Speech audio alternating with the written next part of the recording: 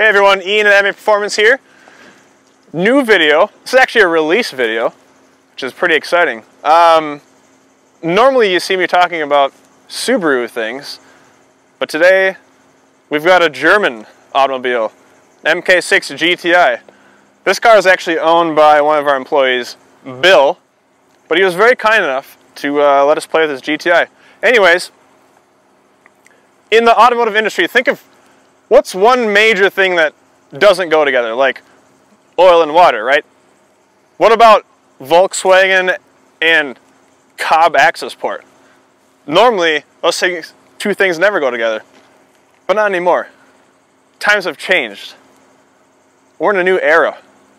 And Cobb is actually releasing the Accessport for MK6 GTIs, which we just happen to have here.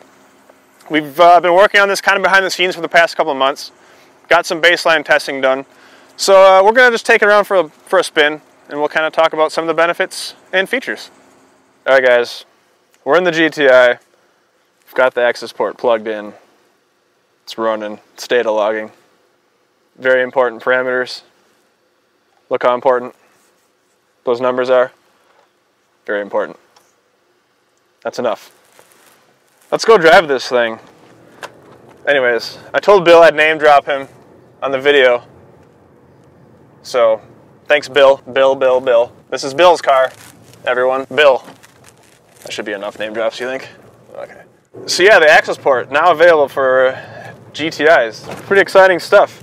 Um, I mean, you guys are probably already aware from some of our previous Accessport videos, you know, the general idea behind a Cobb Accessport. But what does this what does this mean for people that own this kind of a platform?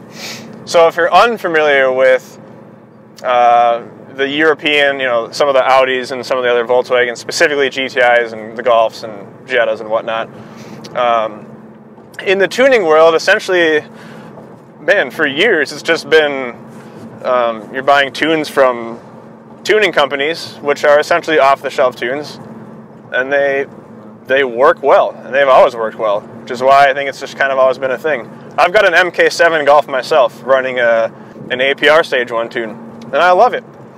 But the nice thing is now, people that own these cars, they finally get to have flexibility. So if you own one of these and you buy an intake or you buy a downpipe or you buy an intercooler or if you buy a custom turbo kit, build your motor, build your cylinder head, now you're going to have the ability to go to any local Cobb tuner and have a custom map made for you.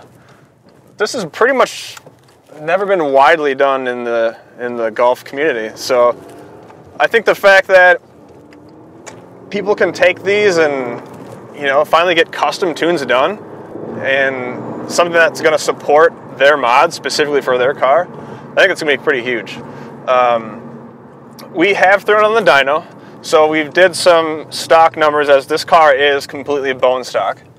So we did get some baseline numbers and then we flashed it with Cobb's off the shelf 91 octane map right now. So I think we saw 40 wheel horsepower and somewhere in the close to 50 foot-pounds of torque gain um, just right off their off-the-shelf map. So obviously these are going to become preloaded with those tunes. You know, they're going to have 91 octane, 93 octane, and they're also going to do they have low boost and high boost tunes, so those are all going to be preloaded. But again, uh, obviously, the the ability for custom tuning is going to be the biggest benefit, in my opinion, for for people that own these cars. So um, obviously, they're starting with the MK6 first. It's been out for a while.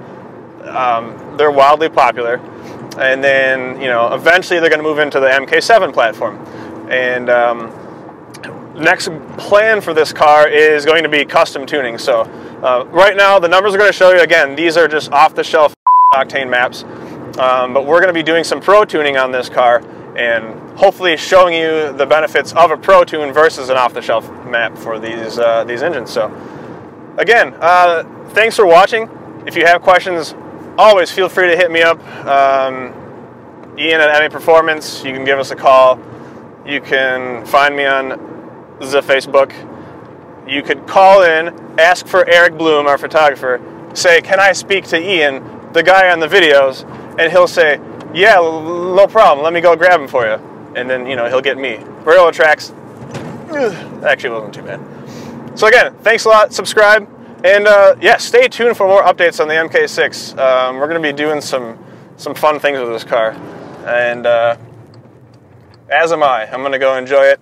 Unfortunately, Bill left me with very little gasoline, so we're not going to get to go far. I think he did that on purpose, unless he expected us to fill it up. Yeah. Feels nice. I'm speeding. I should stop. I should, should I stop? Yeah, stop. Thanks, guys.